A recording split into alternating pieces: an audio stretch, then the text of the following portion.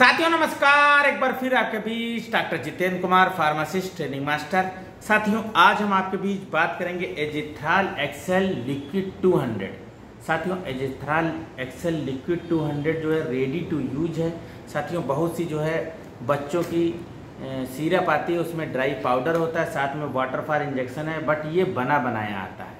साथियों, इसके बारे में सबसे पहले बात करेंगे डिस्क्रिप्शन, जानेंगे Azithral, XL, oral liquid 200 mg है क्या? साथ ही साथ इसके इंपॉर्टेंट यूजेस की बात करेंगे साइड इफ़ेक्ट की बात करेंगे इंट्रक्शन की बात करेंगे प्रिकॉशन वार्निंग एंड डोजेस की बात करेंगे साथियों।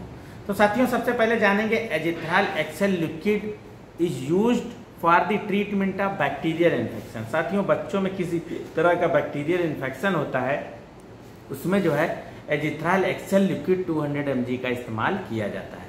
साथियों, एजिथ्राल एक्सेल 200 mg ये ब्रांड नेम है जो इसका कंपोजिशन है साथियों।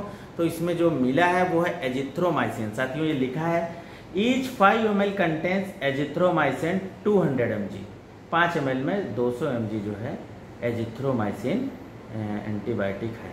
साथियों, एजिथ्रोमाइसिन इसका जो है कंपोजिशन है, जिसका केमिकल फार्मूला कह सकते हैं। एजिथ्राल एक ब्रांड नेम है, साथियों। साथियों बैक्टीरियल इन्फेक्शन किसी तरह का बच्चे में उसमें इस्तेमाल करने वाली ये दवा है, जैसे कि ईयर में, कान में इन्फेक्शन है बैक्टीरिया की वजह से लंग्स में इन्फेक्शन है थ्रॉट में इन्फेक्शन है और टॉन्सिल्स हो जाते हैं, जिसको हम टॉन्सिलाइटिस भी कहते हैं। और क्या होता है, फेफड़े के एयरवेज में है या रिस्पिरेटरी ट्रैक्ट में है एयरवेज में है नेसल पैसेज में है इन्फेक्शन और स्किन एंड साफ़ टिश्यूज में इन्फेक्शन है। ऐसे केस में क्या होता है एजिथ्राल एक्सेल लिक्विड 200 का इस्तेमाल किया जाता है।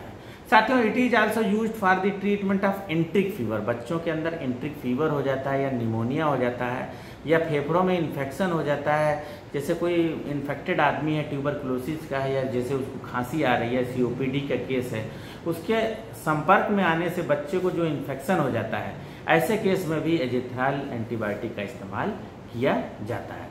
साथियों, ये शेड्यूल एच की दवा है डॉक्टर पीडियाटिशियन या फिजिशियन के प्रिस्क्रिप्शन से ही मिलेगी साथियों। ये प्रोडक्ट एलम्बिक फार्मास्यूटिकल कंपनी का प्रोडक्ट है एजिथ्राल एक्सेल लिक्विड 200 हंड्रेड साथियों तो डिस्क्रिप्शन की बात हो गई, साथ ही साथ इसके हम यूजेस की बात करेंगे। साथियों Azithral XL oral liquid use for the treatment of bacterial infection in the ears कान में जो हो जाता है लंग्स में जो इन्फेक्शन हो जाता है बैक्टीरिया की वजह से उसमें इस्तेमाल की जाती है। थ्रॉट में हो जाता है टॉन्सिल्स हो जाते हैं ईयरवेज हो जाता है नेसल पासिस हो जाते हैं। साथ ही साथ क्या होता है skin and soft tissue infection होता है। ऐसे केस में एजिथ्राल एक्सेल 200 लिक्विड का इस्तेमाल किया जाता है। साथियों it is also use for the treatment of enteric fever and pneumonia and COPD case and lungs infection हो जाता है।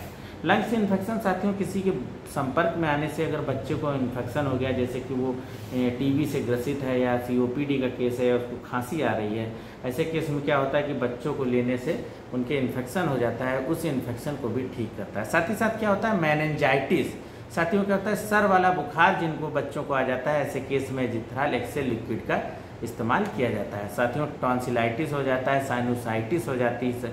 और कान के अंदर जैसा कि ईयर इन्फेक्शन बताया साथियों, इसको हम ऊटाइटिस मीडिया कहते हैं। उसमें जो है इन्फेक्शन हो जाता है, उसमें ये एजिथ्राल एक्सेल लिक्विड इस्तेमाल की जाती है। अदरवाइज़ डॉक्टर अपने हिसाब से इसको जो है प्रिस्क्राइब करते हैं। साथियों, इसके इस्तेमाल से कुछ साइड इफ़ेक्ट हैं, जैसे बच्चों को जो है क्या होता है डायरिया हो जाती है नोजिया हो जाता है वोमिटिंग होने लगती है और, जो है पेट में क्या होता है ऐठन मरोड़ हो जाती है। तो और इंजीसन कभी कभी क्या होता है इनडाइजेशन हो जाता है इसको देने से। और स्किन रैसेज हो जाता है, थकान ऐसे बच्चे महसूस करते हैं। तो इस तरह के कुछ छड़ी किसके जो है, साथियों, लक्षण है। साथियों एजिथ्राल एक्सेल 200 mg बॉडी में वर्क कैसे करता है, इसके बारे में हम बात करेंगे। साथियों, ये क्या होता है कि जो सिंथेसिस ऑफ़ प्रोटीन होती है मतलब जो उसकी बैक्टीरिया की कवरिंग होती है, जिसको हम इसेंशियल अमीनो एसिड चाहिए होता है। तो कहने का मतलब है it works for interfering with the synthesis of essential protein require bacteria to perform the function और जो बैक्टीरिया को इसेंशियल प्रोटीन चाहिए होता है, जिसके लिए बैक्टीरिया परफॉर्म करता है, वो एक लेयर होती है, उस लेयर को जाके डैमेज कर देता है और बैक्टीरिया मर जाता है और उससे ग्रोथ रुक जाती है साथियों। साथियों, इस तरह से ये वर्क करता है। साथियों, इसके इंट्रक्शन की बात करेंगे तो एजिथ्राइल एक्सेल लिक्विड साथियों, कहने का मतलब है जब भी प्रीडियाटिशियन को अपने बच्चों को दिखाएँ या फार्मासिस्ट या डॉक्टर को दिखाएँ, ऐसे केस में क्या है कि अगर कोई पहले से बच्चे को दवा दे रहे हैं या कोई बीमारी है, तुरंत बताएँ ताकि डॉक्टर अपने हिसाब से दवाई को लिख सकें। बहुत सी दवाइयों के साथ इसका इंट्रक्शन है साथियों, जैसे कि थियोफाइलिन टैबलेट अगर दे रहे हैं, या फिर जो है एल्युमिनियम हाइड्रोक्साइड कहने का मतलब है किसी तरह का एंटा एसिड अगर बच्चे को दे रहे हैं, डिगॉक्सिन है, या लीवर की प्रॉब्लम है पहले से तो ऐसे केस में जो है इस दवाई का सेवन नहीं कराना है।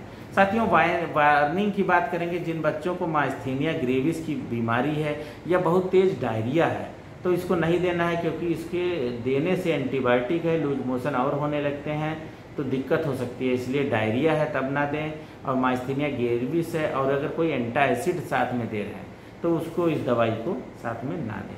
साथियों प्रिकॉशन की बात करेंगे, जो भी बच्चों की किडनी किडनी इम्पायर्ड फ़ंक्शन है या लीवर फ़ंक्शन में प्रॉब्लम है, ऐसे केस में इस दवाई को ना दें। साथियों डोज की बात करेंगे डोज जो है इसका प्रिस्क्राइब किया जाएगा डिस्क्राइब किया जाएगा साथियों पीडियाटिशियन डॉक्टर या फिजिशियन के द्वारा। अदरवाइज़ ढाई से तीन साल का अगर बच्चा है तो इसको पाँच एम एल मतलब पूरे दिन में देना है, कहने का मतलब है डिवाइड डोज में दे सकते हैं, आधा चम्मच मतलब ढाई एम सुबह, ढाई एम शाम को। मतलब ये एंटीबायोटिक दे सकते हैं। तीन से पाँच दिन या सात दिन तक। बहुत सी ऐसी बीमारी है जैसे क्रिटिकल है तो उसमें फोर्टीन डेज़ तक ये एंटीबायोटिक दी जा सकती है। साथियों, इसकी जो एमआरपी है eighty two rupees seventy four पैसा है। साथियों, ये लिक्विड जो है थर्टी एम का है। मार्केट में आसानी से मिल जाएगा। तो साथियों, इसी के साथ विराम देंगे। किसी तरह की क्वेरी है, आप हमें ज़रूर कमेंट करें। साथ ही साथ हमारे चैनल को ज़रूर सब्सक्राइब करें। साथियों, नमस्कार।